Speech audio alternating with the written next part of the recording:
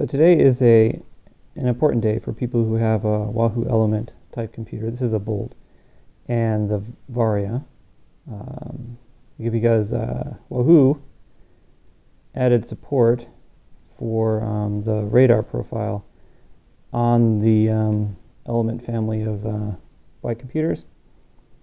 So I'm going to go ahead and add the sensor to the Wahoo here, hopefully. So just going to go ahead and scan for it.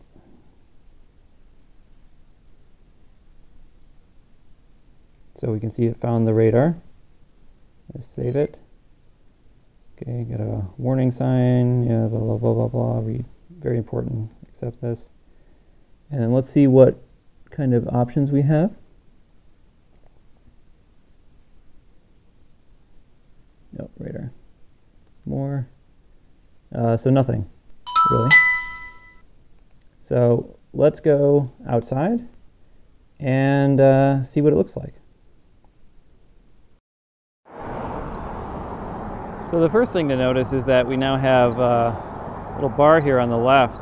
And as you can see, as cars approach, a little car icon shows up in the um, left-hand side.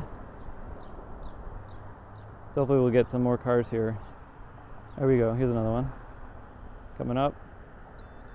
So it shows up, makes a beep, and you can, it's hard to see because it's really bright out here, but the LEDs on the top also flash when a uh, the vehicle approaches. So this is one of those areas where Wahoo took a long time to do it, but their implementation is actually pretty neat with the little cars instead of just a dot like it is on the Garmin device. So overall, I mean, I'll have to go out and ride with this and uh, see how it works in practice, but here just having a look at the cars go by, I think it's working just perfectly. I'm really pleased with it.